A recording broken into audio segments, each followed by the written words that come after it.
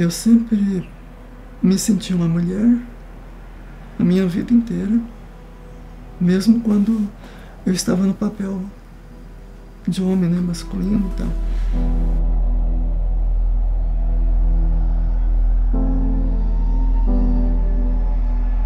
Que a Maria Luísa foge de todo o padrão da transexualidade. Nós levamos um susto quando nós soubemos que ela era militar de carreira. Nós não sabíamos. Um militar exemplar, né?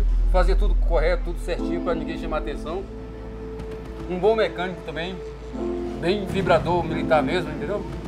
Pô, um cabo ali no canto dele, com filhos, com família, quer virar mulher. Pô, era um horror isso.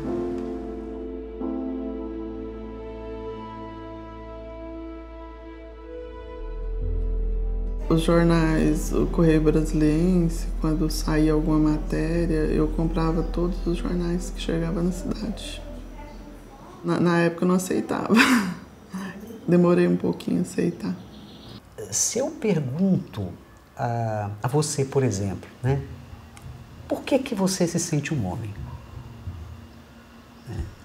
Eu, bom, eu já até tinha respondido. Eu vou responder de novo.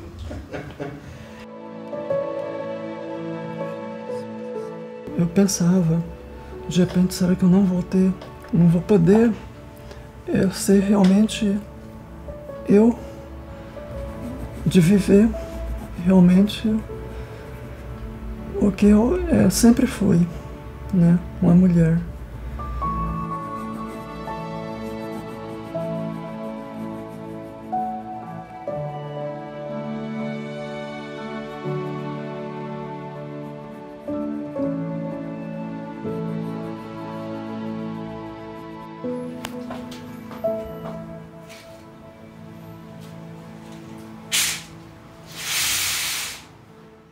Ameaças veladas, ameaças é, bem explícitas. Né? Você vai deixar essa questão de transformação, você não pode fazer isso. Ameaças de, muito, muito fortes mesmo, de, de prisão.